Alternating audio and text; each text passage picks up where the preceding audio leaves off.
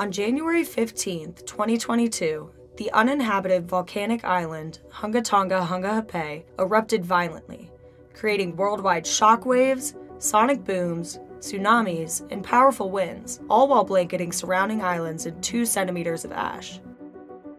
It was a fatal eruption, and its impact on nearby communities was further compounded by the disruption caused to emergency services.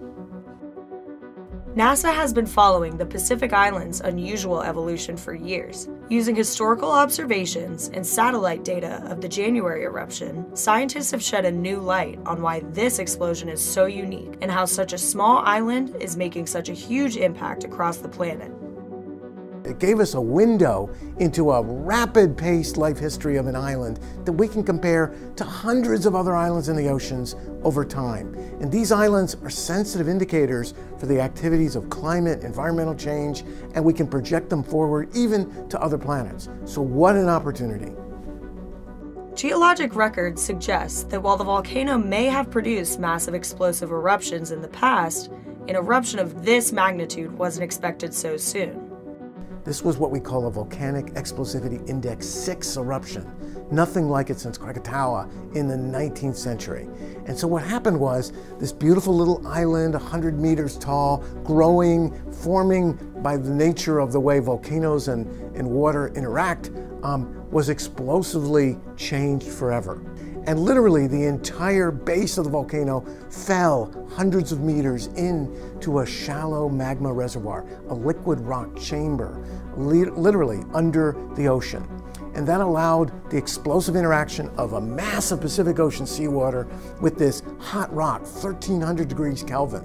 That's super hot, hotter than your oven. And that explosion with the pressure moved the water, the rock, the small amounts of ash that were part of building the island all the way into the atmosphere and triggered a large tsunami, a 15 meter high superwave that traveled out hundreds of miles, buried some local islands as part of the Tonga archipelago, but allowed us to see the power of Mother Nature's volcanoes when water and liquid rock come together to shape our planet. NASA and ESA satellites clocked wind speeds up to 450 miles per hour, just hours after the eruption, and showed material rising up to 36 miles, the highest volcanic plume ever measured. Within two weeks, the main plume of volcanic material circled the entire globe, injecting dust particles into the stratosphere that remained for upwards of a year. NASA also found that the volcano injected a tremendous amount of water vapor into the Earth's stratosphere, the increase of water vapor, which traps heat, could modify atmospheric chemistry and have a warming effect on the Earth's surface.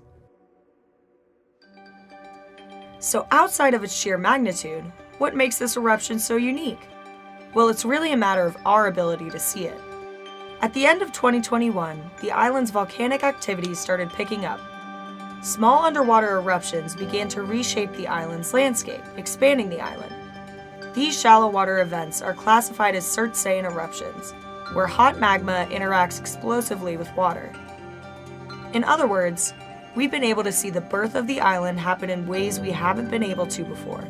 And with modern satellite technology, we're also able to see the end of the island's life cycle in new detail, as we did with the January eruption.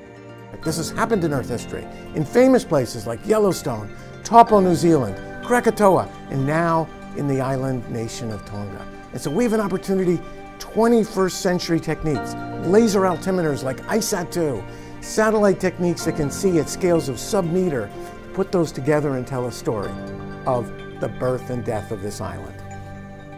NASA's vantage point of Hunga Tonga Hunga Ha'apai could even be used as a means to study other planets in our solar system, specifically the role that volcanic islands play in water planets like Mars and Venus. Where you live on an ocean planet. And so these kind of eruptions are part of our history, how we got here as we evolved uh, ourselves in the context of our planet. And we want to take the lessons that we learn as we go forward, as we continue to watch what's next in this exciting volcano and apply it forward to other worlds like Mars and Venus that may have harbored surface waters as oceans or seas and understand them in the context of our Earth. Using geostationary satellites and observed data, NASA's scientists hope to learn from the continuous evolution of this special volcano. The question is, Will those come again at Tonga Tonga and then explode again? We don't know. So we need to use what we saw from this eruption in 22 to train ourselves for what to be able to predict. And so this is our chance to learn and then to apply it to the other ocean worlds nearby that we really hunger to study.